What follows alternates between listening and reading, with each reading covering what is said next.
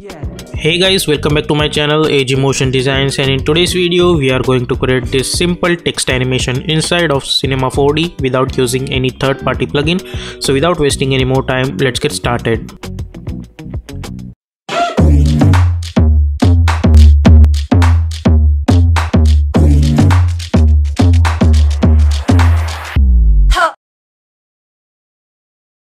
So here we are in cinema 4d so first thing we need to do we need to create one text. So i'll go to the MoGraph and i'll choose this MoText simply select this text. In the text option i'm going to type capital a and width i'm going to choose 50 and we need to change the font. We don't want that font. So you are free to choose whatever font you want but i would suggest uh, uh, try to make something bold or black. I'm going to choose Poppins black. So it will become a little bit thick. So select this text and as you can see the depth is 50 if you want to increase i will make it 60 for now. Yeah this looks good to me. Now select this MoText and press control I mean hold control and simply drag it down to create a duplicate. And we will alt click on these two options so it will hide this extra one. So this is extra so simply double click. I'll call it as extra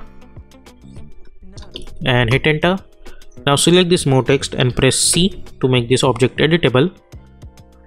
Click on this plus icon, then this plus icon, then this plus icon, then this plus icon. Yeah.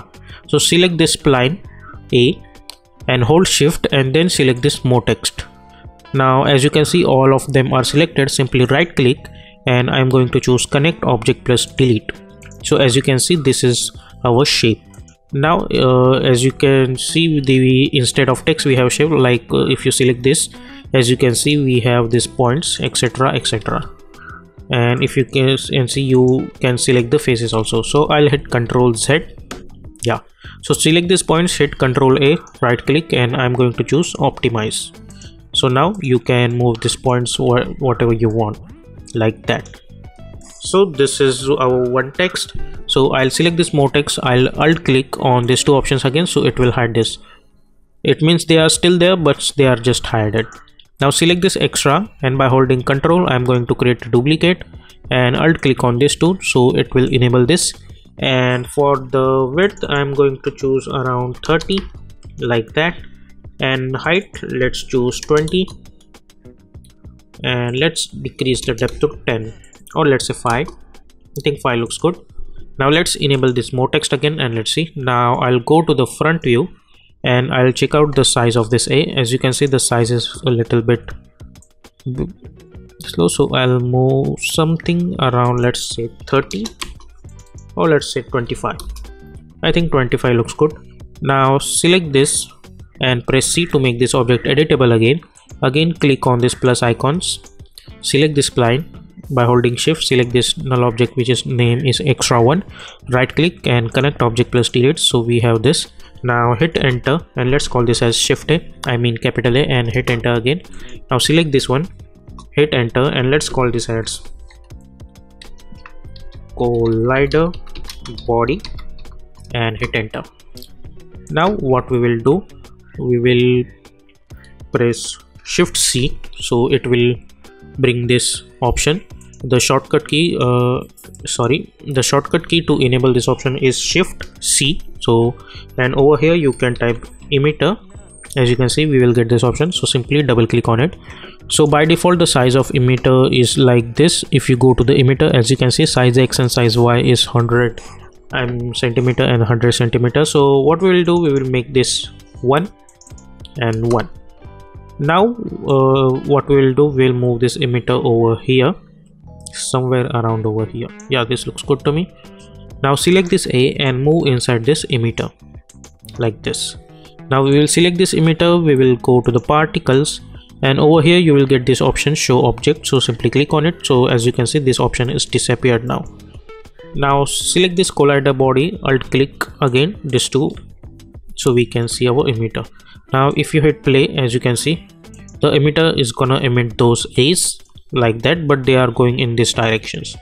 So now what we will do we will select this a right click go to the simulation tag and choose rigid body. And now if you hit play as you can see they are falling downwards.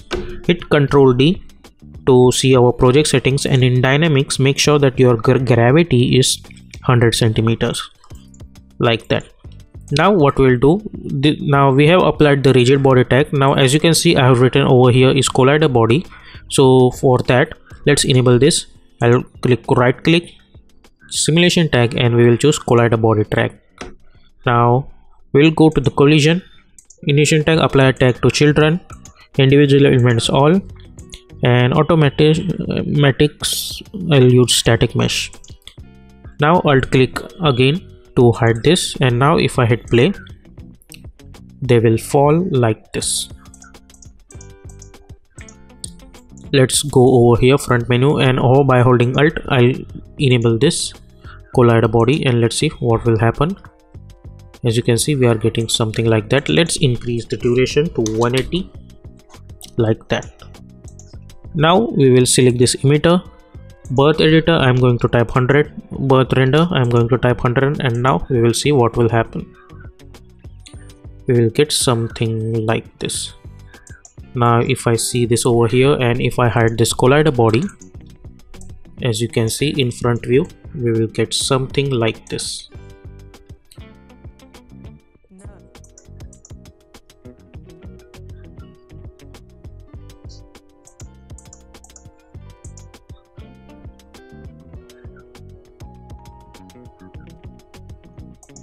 now after that we will bring our flow.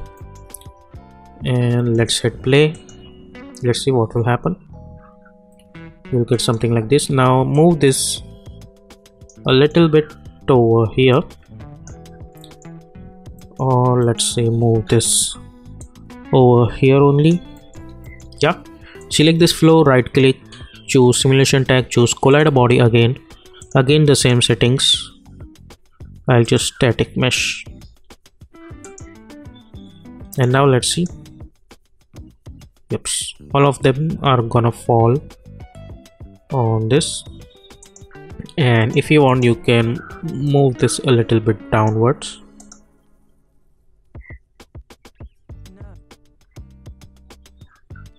Like this.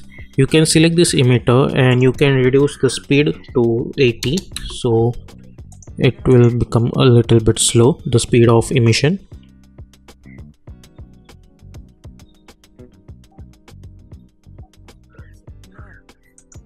And now I want at 140 it should stop to emit or let's say at 100 it should stop to emit. So as you can see over here we have this option called stop emission. I'll choose 100 and let's see. So after 100 uh, frame it's not gonna emit any letters like that. I think we need to increase it to up to 130 because we have to fill this all thing. So now i'll hit play again.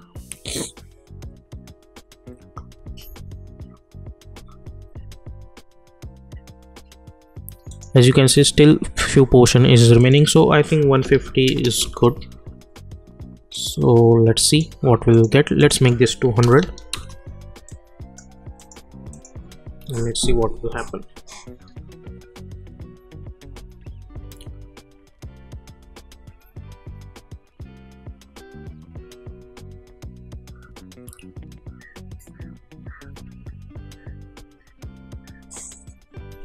So i think this looks good to me. Now if i hit control r obviously we are not gonna see anything different. So for now what we will do we will double click to create material. Simply double click on it go to the colors and over here I'm going to choose white color only and enable the luminance panel and brightness I'm going to choose 50 or let's say 75 and apply this color to our A. Let's go few frames forward. And now we will bring our area light. But before that let's enable our camera and double click select this camera and increase the field of view a little bit. Select any text like this a and press s. And let's zoom out camera a little bit and we will adjust this camera like that. Now select this light. Let's go to the top view. I'll move this over here. Press R for rotation. Rotate it like that and rotate it like that. Go to the front right view. Press E W. And let's move this over here then go to the top view. I'll move this over here. By holding control let's move this over here. Press R for rotation then W for to enable our world axis. And let's move this over here. And now if you hit Ctrl R you get something like this. Let's select this light. In shadow I'll choose area light. Similarly in this light I'll choose area and now if you hit Ctrl R obviously we will get some little bit shadows hit Ctrl Shift Z. If your camera has moved so hit Ctrl Shift Z again. Or you can select this camera right click go to the cinema 4d tag and choose protection. So now as you can see you cannot change the camera. You can disable this camera and then you can change the viewport. But if it's enabled it's not gonna move because we have applied this protection protection tag now we will select this material again and let's go to the luminance and choose 40 percent. And let's see what we will get now. So as you can see we are getting some little bit shadows. And if you want then you can apply this material to this white thing I mean the flow. And then I'm going to create one plane like this press R for rotation and by holding shift let's rotate it on 90 degree and apply this material to this one. Press E and let's move this over here and this one over here. Let's move this over here like this. Now select our model tool and we will increase the size of it. Let's adjust the position like that. And now if you hit ctrl r let's see we will get something like this. Let's select this and move this a little bit backward like that. And if you hit ctrl r we will get something like this. Or instead of that you can create another material. Simply double click and change the color to black like this. And simply apply this color to this backgrounds. Let's make them black. And now if you want then you can go to the reflectance and you can choose Beckmann let's reduce the roughness and increase the reflections and increase the roughness a little bit. And I think uh, after applying black color we don't need that plane so I'll delete that plane. And now if you hit ctrl R we will get something like this. Let's hit play and let's see what we will get. Get something like this and if you hit control R you'll get something like this. And if you want then you can uh, disable this luminance and you can see how the things goes. But I think this is too much shadow so let's enable this luminance and let's make the brightness to 20 or let's make it 40 yeah this looks good to me and if you want then you can select this material by holding control i'll create a duplicate. Now select this material go to the color options make it a complete black color for this color and also for this luminance you can choose black color.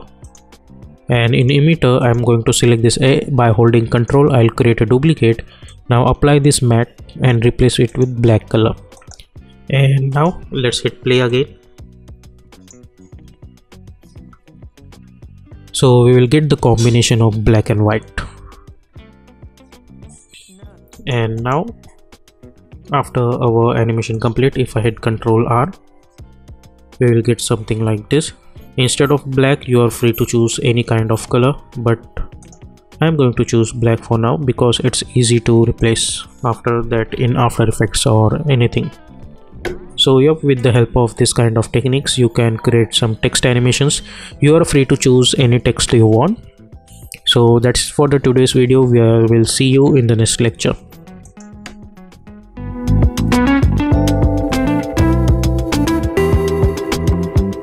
So i hope you guys have enjoyed this tutorial. If you like this tutorial then please consider to subscribe this channel and also hit the bell icon